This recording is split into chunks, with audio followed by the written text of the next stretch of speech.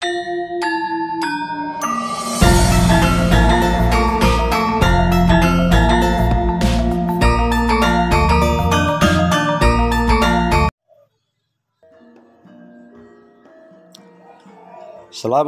warahmatullahi wabarakatuh. Salam santun, salam rayu.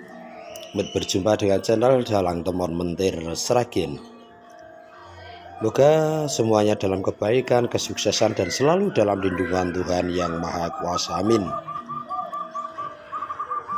Ini Mbah Dalang Temon ngeblok suasana di daerah Gubuk Dalang Temon Mentir Bener Ngerampal Seragen Inilah Kampung Mentir, Kampung Dalang Temon Mentir Seragen yang juga dulu kondangnya Kampung eh, sinden legendaris yang terkondang Kampung Yusuji Mentir. Inilah kampung eh, kondangnya dulu dengarani Tayub itu ledek Tayub Yusuji Mentir. Suasana di Kampung Mentir, yaitu kampung kelahiran Dalang Temon, seperti inilah lingkup dalam suasana desa Mentir Bener Ngerampal Seragen. Inilah gubuk Dalang Temon Mentir, yang juga sudah mencucur dunia Kampung Yusuji. Sinden Mentir atau kondangnya dulu maaf Ledek Mentir. Mengenang cerita dalam dulu kenapa Kampung Mentir sudah mencucur dunia Kampung Yusuji Mentir. Karena Yusuji Mentir merupakan yaitu seniman legendaris yang namanya bisa mencucur dunia dengan nama Kampung Mentir. Yusuji adalah suatu seniman sinden tayub yang dulunya pernah hidup di kampung Mentir. Namun sebenarnya Ibu Suci itu bukan asli kelahiran dari kampung Mentir. Konon ceritanya dari keluarga yang ada di Mentir Yusuji sebenarnya kelahiran dari Grobokan Dadi. Yang dulu di kampung Mentir ini Yusuji itu belajar eh, beksan tayub bersama orang tuanya almarhum suami, suaminya Ibu Suci dulu namanya almarhum Bopo Ino Kendang Mentir. Dulu pernah belajar seni beksan tayub di kampung Mentir. Karena sejak dulu kala nenek moyang kampung Mentir dan udah kondang sampai ke mana tempat kalau di kampung Mentir dulunya yaitu daerah seni beksan tayub latihan seni beksan tayub di kampung Mentir. Di situlah mulanya Ibu Suci menjadi tenar kondang bawa nama harum kampung Mentir sampai mencucur dunia. Namun berselangnya waktu karena Ibu Suci almarhumah dan Bapak Gino almarhum tidak mempunyai keturunan, dia telah berpisah di Tengah jalan berpisah dalam rumah tangga Ibu Suci almarhum Mah dan Bapak Gino almarhum. Semenjak itu Ibu Suci udah tak ada lagi di kampung Mentir karena Ibu Suci udah menikah lagi dan almarhum Bapak Gino udah juga menikah lagi. Banyak yang pada tanya pada dalang temon mentir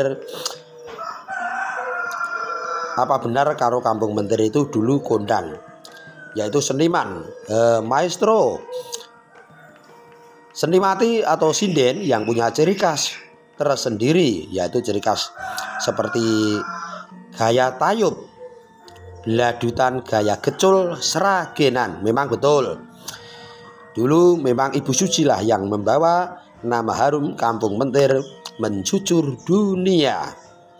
Jadi sampai akhir hayatnya Ibu Suci sudah terkenang yaitu ledek mentir atau sinden tayub dulunya. Sampai dalang-dalang kondang seperti Bapak Purboasmoro dan dalang-dalang kondang lainnya sudah juga sering dulu pentas e, mengundang Ibu Suci juga. Almarhumah Ibu Suci merupakan legendaris. Seorang seniman, seniwati, seantero dunia, Ibu Suci seakan-akan udah melalang buana namanya. Lah inilah letak dulu jalan ke dulu tempat Ibu Suci eh, bertempat tinggal dulu kalanya yang masih dulunya bertempat di Kampung Mentir. Ini jalur ke arah makam Jurid. Itu sahabatku semuanya yang masih bersama channel Dalang Tempon Mentir. Memang Kampung Mentir adalah kampung yang masyarakatnya berbinika tunggal ika. Kebanyakan masyarakat di Kampung Mentir adalah petani, buruh, dan lain-lain. Juga ada pegawainya juga. Namun biarpun berbeda-beda namun di kampung Mentir alhamdulillah tetap guyup, urukun, nyawiji, semangat, gotong royong, saling eh, menjaga kerukunan bersama. Untuk sahabatku channel dalam teman mentir semuanya,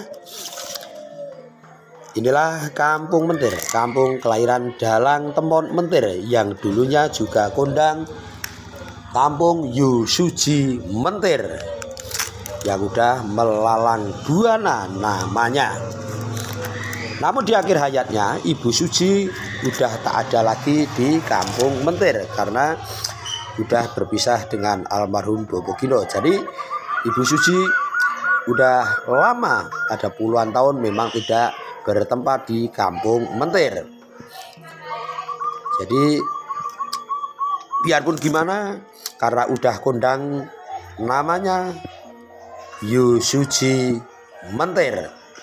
Karena memang karya-karya sindenanya gaya cengkoknya seakan-akan tiada dua. Gitu. Ya situasi di kampung Mentir di desa ini di kampung ini Dalang Temon dilahirkan juga di kampung Mentir Bapak Simbok saya juga asli kelahiran kampung Mentir Simbah juga kampung Mentir. Moga-moga selalu dalam kita berkarya, berbudaya bisa menjunjung nama harum kampung Mentir untuk berkarya dan berbudaya. Terima kasih dukungannya. Assalamualaikum warahmatullahi wabarakatuh.